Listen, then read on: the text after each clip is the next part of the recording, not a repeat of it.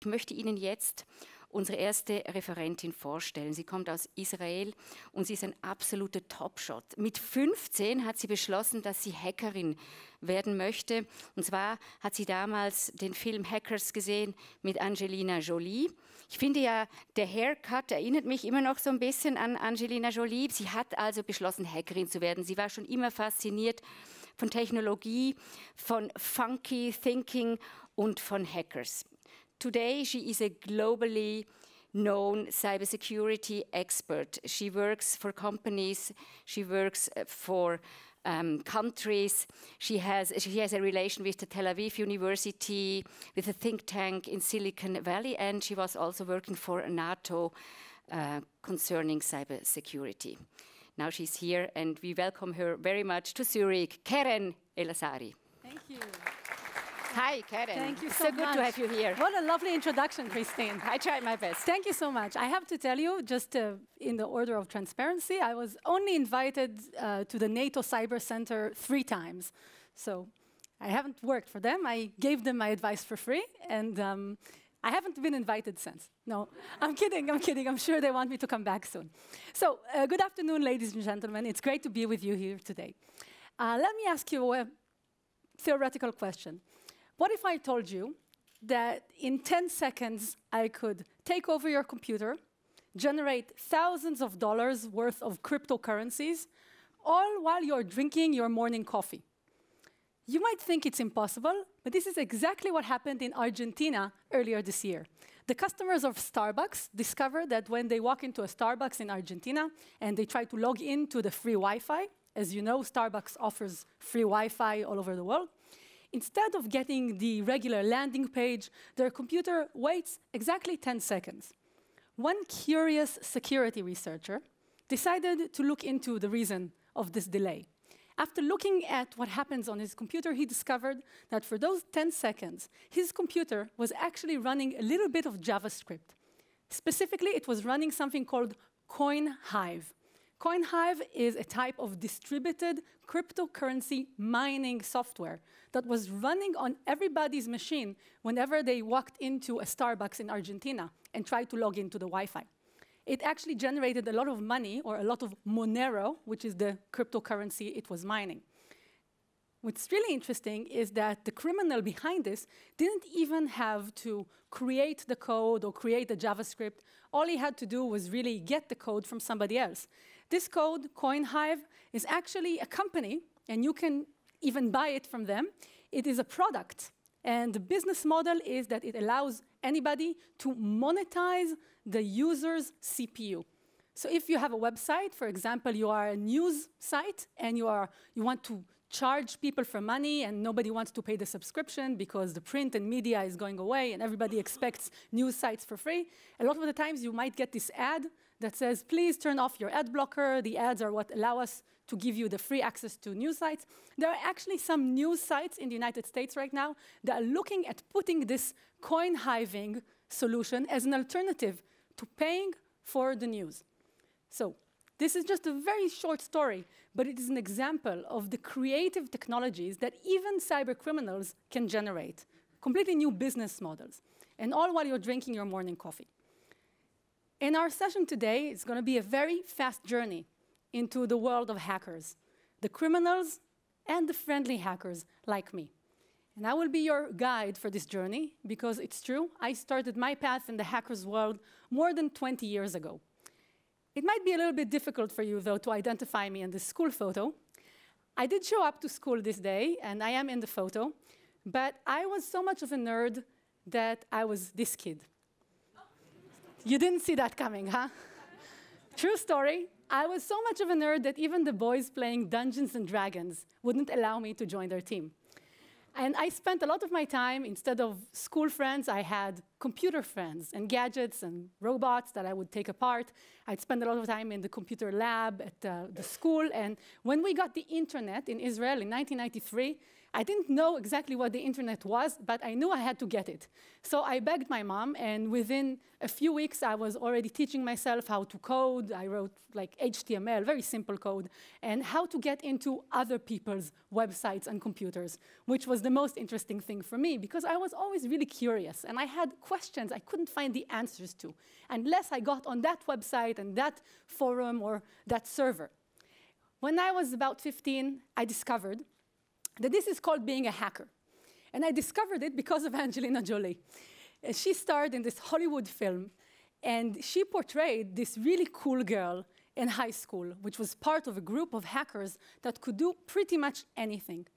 And the movie wasn't very realistic because back in the day, 95, the hackers, you know, they took over the traffic light system, they hacked into the FBI director's emails, uh, they could take over pretty much anything they wanted things that are today happening were not really possible back then.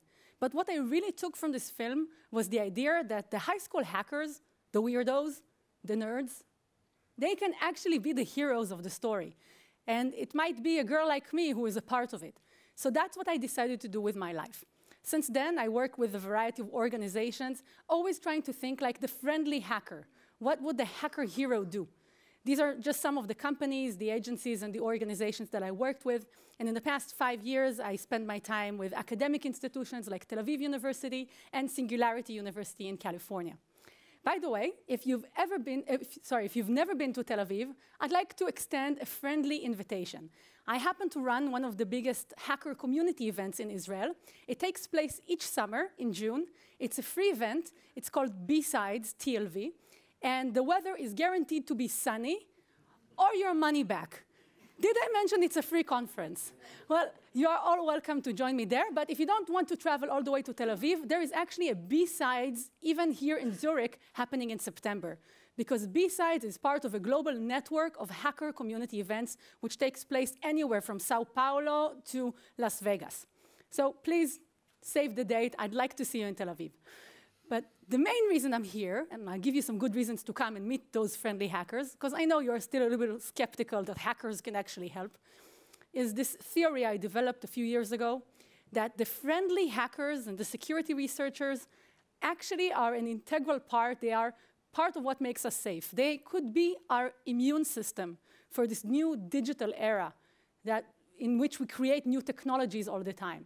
And that we actually need these types of people and individuals that think differently. Sometimes even the bad guys can find a new type of technology or a new use case that nobody has ever imagined before.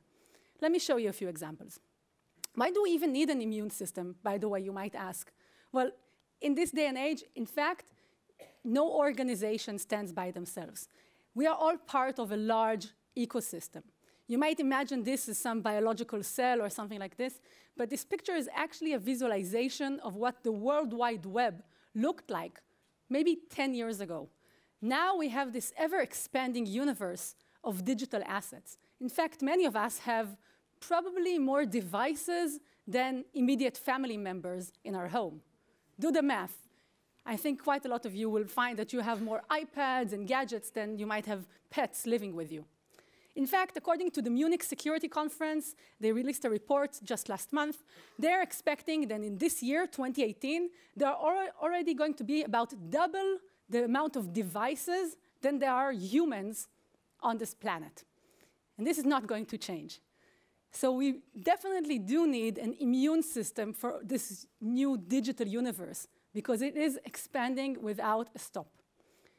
Now, these devices could be used to spy on you, and I hope you have a piece of tape on your webcam, like Christine did. But even if you have put a tape on your webcam, which is very good, your webcam could still get hacked.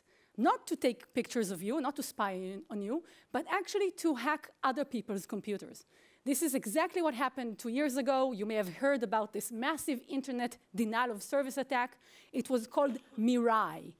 And over the course of a weekend, it took down websites all over the world. Websites like uh, Airbnb and news sites and Amazon, really big websites, retail sites. So when they are down, they're actually losing money. And this attack was actually supercharged by so many devices in people's homes, devices that were used for a denial of service attack, because they were using basic internet protocols like DNS, for example, which can be subverted, which is what happened in this attack. And the worst of all, a default username and password combination. In fact, for many of them, this was the password and user combination. You are laughing, but check exactly the devices in your home. Did you all recycle or change the, app, the password and the uh, definitions on the new webcam or router or whatever it is new gadget that you have in your home. Maybe you here in the room did it because you're security professionals or you are aware.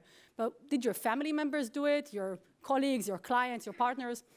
The reality is that more companies and businesses are starting to have you know, IoT, the Internet of Things, devices in their business, cameras and routers that can be hacked and then hack other organizations. So your business could actually be blamed for being a part of such an attack. And this is happening not because criminals might necessarily target you or target anyone with a camera. Criminals have found very creative, very fast, automatic ways to identify devices that they can use. And they will utilize any resource online. It will just become part of their digital army. Speaking of which, even an aquarium, a fish tank, was hacked recently. Now, you might think, how is this even possible?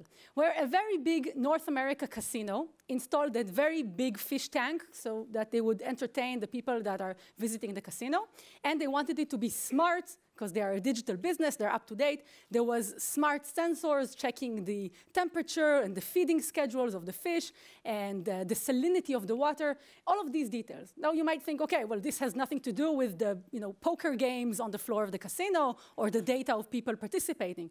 You are correct. However, this fish tank was connected to the internet. And so the criminals who managed to already hack the casino network used the outgoing connection of the aquarium to send out 10 gigabytes of data that they were stealing from the casino. And because the data was going over this connection of the aquarium, there was no firewall or nobody was noticing it. Actually, uh, one company did notice it, and this is why I know about it. It was discovered by some very clever uh, self-learning algorithms that were able to identify that this outgoing traffic doesn't really make sense with the regular operation of a smart aquarium. This is the sort of skill set for which security professionals will, will utilize automated algorithms and machine learning, because it's very difficult for a security professional to immediately understand how a specific technology can be used. I don't expect you all to be experts in fish tanks. Perhaps you, sir, right? You're smiling because you have an aquarium at home, I think. But imagine the next technology that your office will now adopt. Doesn't matter if it's smart printers or smart coffee machines. Nobody should be expected to know how these technologies work, and yet they could be useful for the criminals against us. Here's a tool that you can all use for free to find out if you do have internet connected or internet uh, accessible devices in your home or your office environment. It is called Shodan, like the black belt in karate. It is a search engine for connected devices. And I keep mentioning it, although it's been around since 2009, I still know that people don't know it. It's a very valuable tool, both for the criminals, but also for you to understand what's going on in your organization. And you don't have to go on the dark net to use it. It's actually quite simple. Give it a try. Now, I want to move on to the next type of attack or the next type, type of way that criminals will take advantage of your digital resources to make money. And this is, of course, the type of attack called ransomware, which I'm sure you've heard of in the past year or two. Uh, who here has had to actually deal with ransomware in their home or office?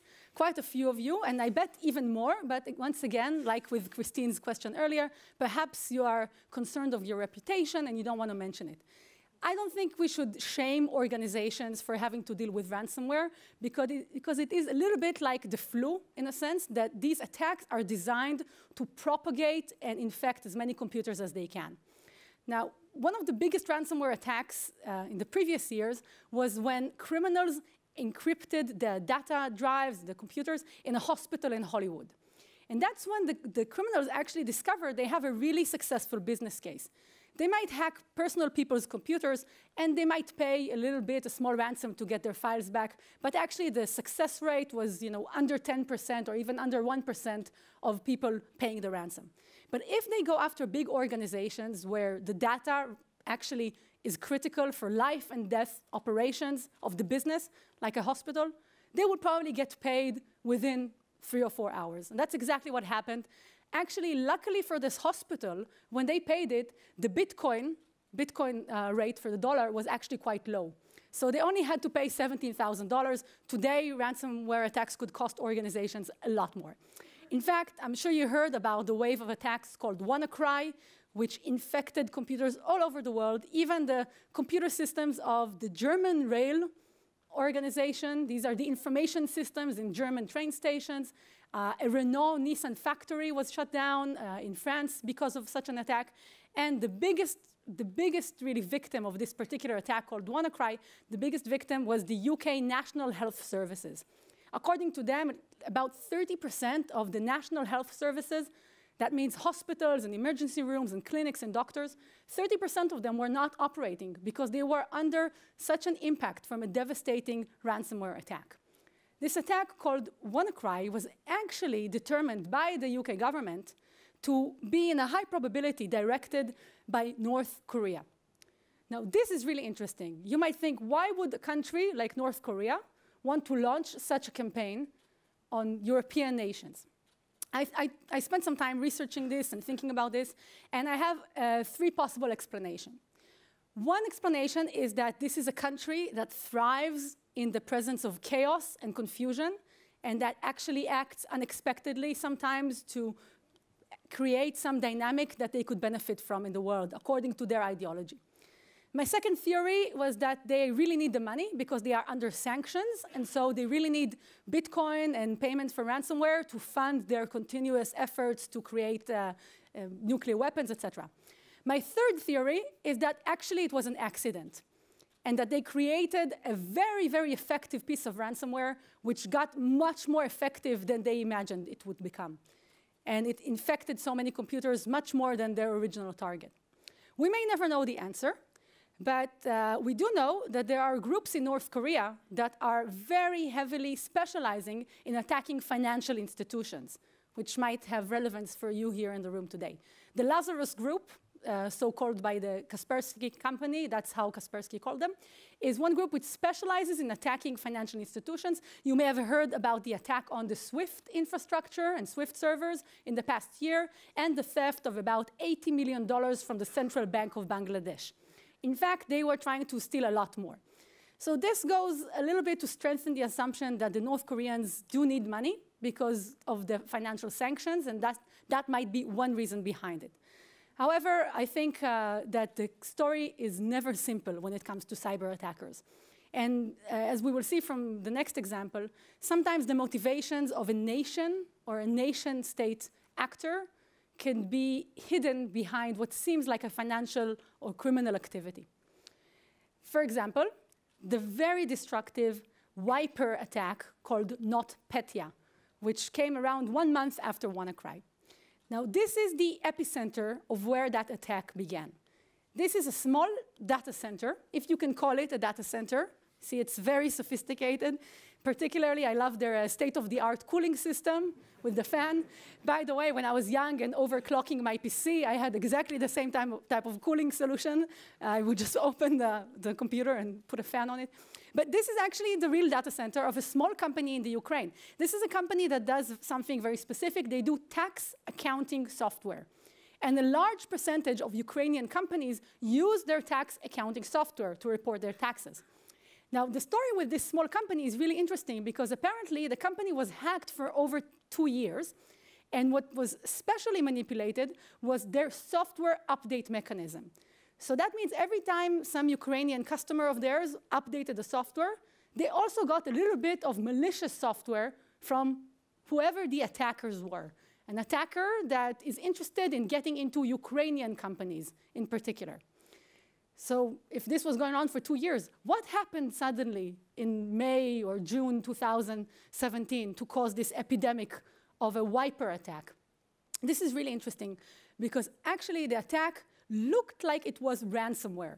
So it would encrypt people's computers and request a ransom, some small Uh, payment in Bitcoin or something like that to get the files back. But actually, there was no possible way to get access to the file.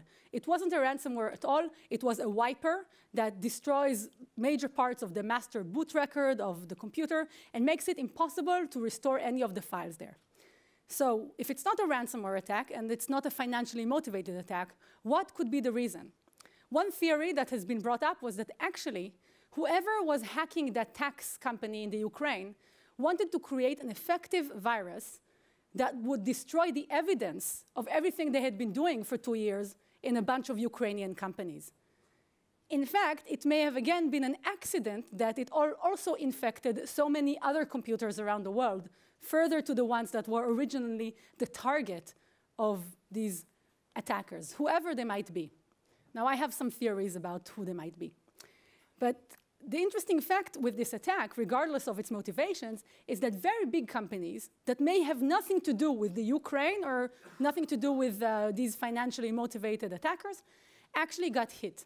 This is, for example, the automated shipping terminal in Rotterdam in the Netherlands. It is almost fully automated. There are very few humans working in this shipping terminal. It's operated by a company called Maersk. I'm sure you've heard of them. And they actually suffered such devastation from this particular attack that they recently uh, announced in their financial reports the costs are $300 million in losses. And this is from four days of being unable to operate their shipping terminal because their computers were hit by this virus.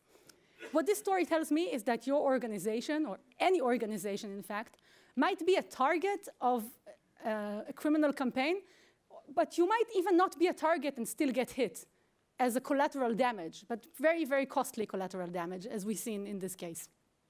Here's another company that was impacted by it, completely out of the blue.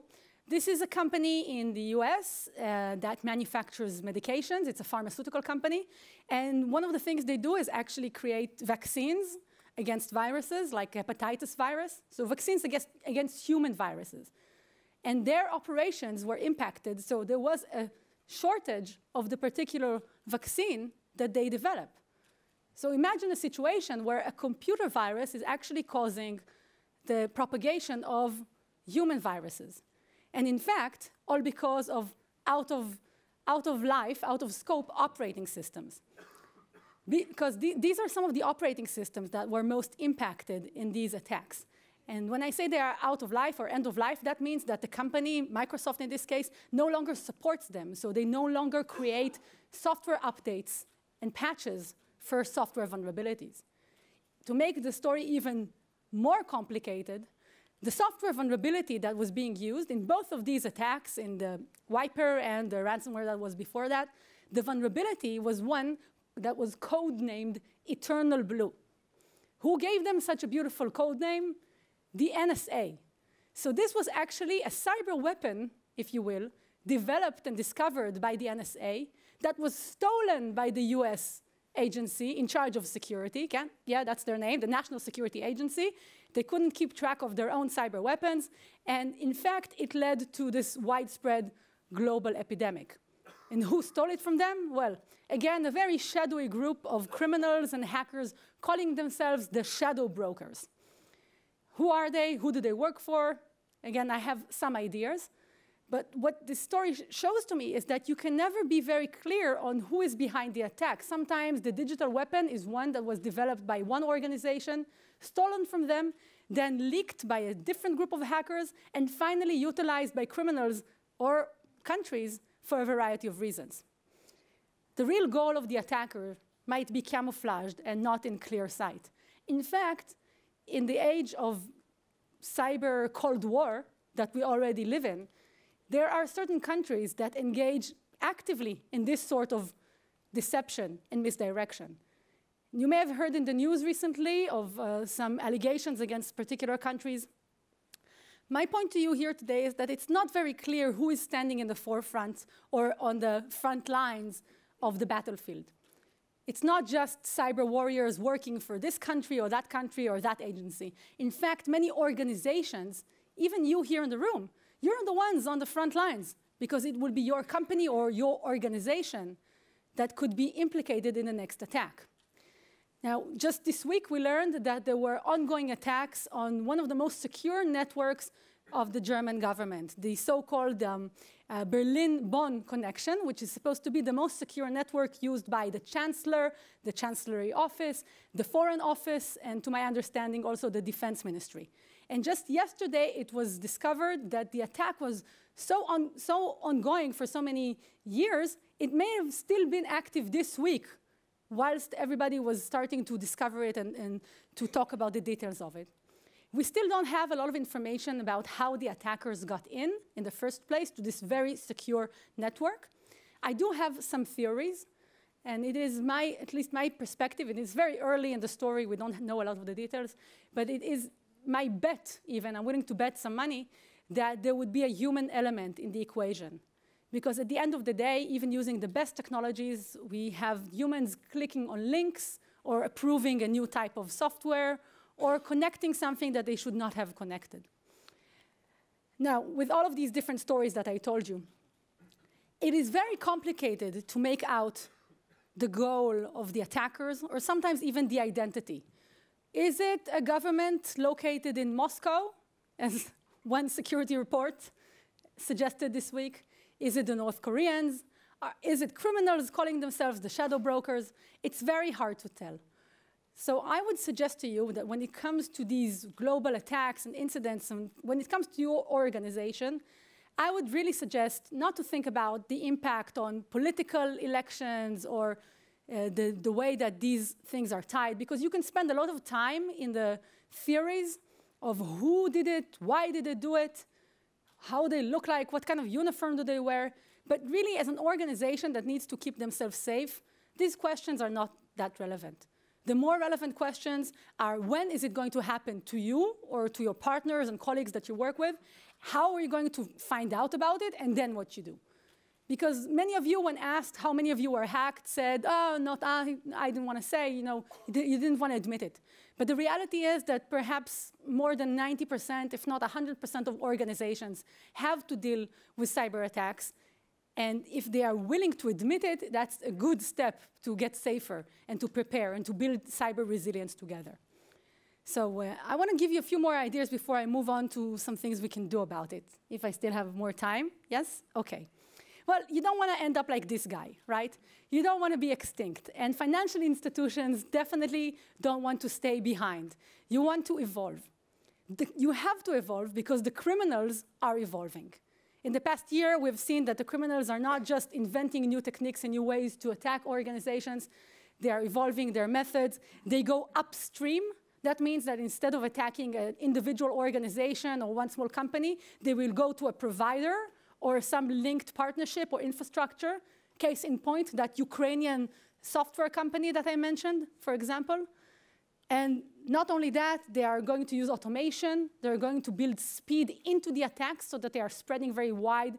It becomes very difficult for single defensive teams to stop these types of attacks or to even identify them. They recycle the attacks. They use those types of uh, malware and exploits that have been used in different attacks in a deliberate effort to create the misdirection, the deception, the fog of war in a way the questions of whether this is Russia or North Korea or some other organization. They actually benefit from the lengthy discussion around it because it stops people from focusing on how to really prevent the next attack. And organizations that stand by themselves, that are not a part of an alliance, a partnership, or a network, or that do not utilize the efforts and services that an organization like SIX, for example, can offer them, these are the organizations that will be the first ones to get devoured by the criminals or the first ones to become like the dinosaurs, if you will. Because by themselves, they are very vulnerable. But together, we are stronger. Especially when it comes to cybersecurity, my goal and my idea for you today is that building ecosystems where the friendly hackers also have a role to play makes everybody a lot safer. So a few ideas about how you can make yourself safer and your organization safer. Consider that every day you make hundreds of security decisions. When you input a recycled password instead of a new password, when you download an app that you shouldn't, when you connect something to a laptop of your workplace or at home, When, for example, you put in your credit card details in a little bit of a dodgy site and you say, oh, it's okay, nobody's interested in me. When you open the door to the office to somebody you don't know, and you are not the only ones making these security decisions. Your employees are making hundreds of security decisions every day. How can we make them or help them create better decisions? One thing is with the use of technology, and that's one uh, aspect we'll hear more about today about how that is being used in the data center or the security center. But the better way to build that security culture into your people is by educating and giving them examples and even doing the experiments, sometimes called as uh, penetration testing, to show just how vulnerable an organization is. A few basic tenets or basic ideas for organizations to make themselves safer, things that they can do to actually help each other out. Sharing information about incidents and attacks that have happened when you're asked, did something happen to your organization, instead of being shy or thinking first about your reputation, consider that by sharing the details with your partners in your network or through a trusted platform like SIX, you are making everybody safer. You're stopping the next flu, if you will.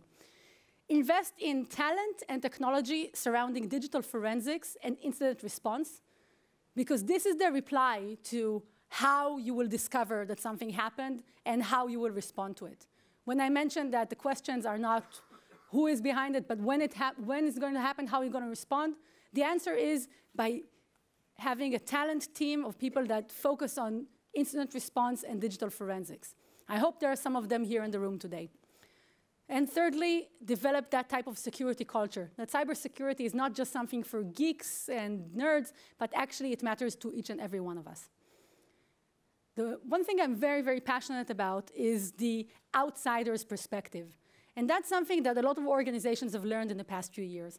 By actually inviting and working with outside security experts, you can uncover those blind spots and those vulnerabilities that will be the criminal's paradise.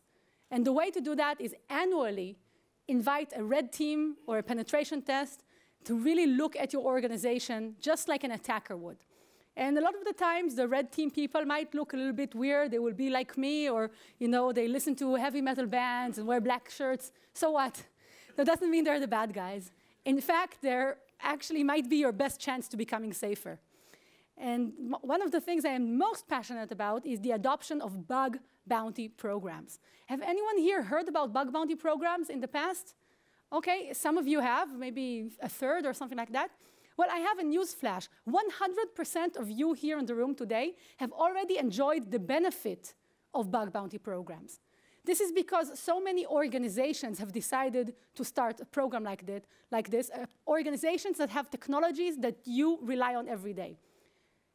What is a bug bounty program? It's an active effort by a company like Microsoft or Google or PayPal or Apple to actively ask hackers that find problems, that find security problems in their product, to report it and receive a reward. That's the bounty. Which companies I'm talking about? This is just a few examples, but it includes financial institutions like MasterCard, for example, Western Union. It includes technologies I'm sure you use, companies like Microsoft, Samsung, eBay, PayPal, Yahoo, the list goes on. A few really interesting organizations that have bug bounty programs. Tesla, one of the most innovative car companies in the world, perhaps just one of the most innovative companies, period, because everything they do is a little bit different. Four years ago, they decided to bring their flagship product, this is the Tesla Model S, they brought it to DEF CON, the world's largest convention of hackers. And they're actively hiring hackers, asking hackers to look at the security of their product, which includes a lot of technology, firmware, software, hardware, and they give out rewards. And the rewards are not just money. Sometimes there are symbolic rewards that are worth more than money in the hacker community. Medals, actual medals like this, which Tesla gives only to the top hackers that identify problems in their code. One of the guys that received this medal last year, by the way, is a guy called Marc Rogers. Uh, you may have never heard of him, but if you've seen the show Mr. Robot, he is one of the technical advisors to the show, and some of the things you see on the show were things that he has actually done. So that is a very worthy guy that we want to support and encourage. But here's a very different organization that decided to work with hackers. It's called the Pentagon. The United States Department of Defense realized that by actively inviting hackers to find problems in their open websites and unclassified systems, they can actually find really critical issues. From the moment they opened the program until they received the first valid report, 13 minutes. 13 minutes. I don't know if it's funny or sad, but what's even funnier is the rumor I heard it was a 13 year old. And that's true because in the program, they actually actively worked with young people who would never have a chance to work for an organization like this. And they already announced it as a massive success financially and technically, and launched similar programs for the Air Force and other US agencies. Here are some more hacker kids you want to encourage. When I go to a hacker convention, I don't see criminals. I see the future workforce needed for cybersecurity because there is a massive skill gap in this space.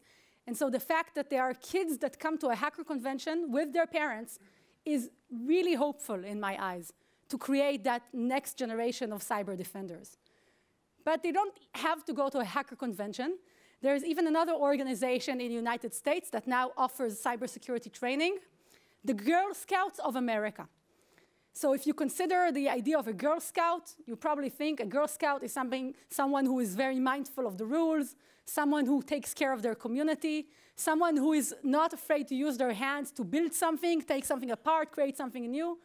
Now in the US, it is also synonymous with a hacker, a friendly hacker who helps her community. This is a, a program that only began in the past year, and I hope it will go on for many years to, to come. Now, I want to finish with one last story uh, before I'm done. Uh, two years ago, at this big hacker convention in Las Vegas, there was a big competition sponsored by DARPA, the United States Defense Advanced Research Projects Agency. Uh, the grand prize was $2 million, and the competitors were seven machines, seven supercomputers in a challenge to hack each other. These were the actual machines. Just imagine you're in a big ballroom and you're looking at a hacking competition between completely automated supercomputers. And this, ladies and gentlemen, is the winner. And I think it is also the future. This is the machine that won. Its name is Mayhem, and it is actually now in the American History Museum in Washington, D.C. It's there as the first non human to win a hacking competition. What a lot of people don't know, though, about this competition between machines and AIs, if I could call it AI, it's not exactly an AI, but we'll call it that for now. After it competed against the machines, it went on to graduate in a fight against human hackers. In 2017, the humans still won. That is good news, in case you're not sure. However, in the years to come, automation, machine learning, algorithms, AI will be an integral part, not just of every aspect of society, but an integral part of cybersecurity. That's why I believe we actually need more such technologies and more humans that know how to work alongside and together with these automated creatures. If you look at the picture, it might look like they're fighting, but I like to imagine that maybe they're working together, collaborating. So if you share the same point of view that I suggested with you today, and you think that friendly hackers, technology, and building an ecosystem could be a good way to create safer society, I hope you decide to take the red pill and wake up to this reality, because that's what I believe the future will bring. Thank you so much for your time. Thanks. Thank you. Thank you, Keren. Thank you. Great. Thank you so much. Thanks.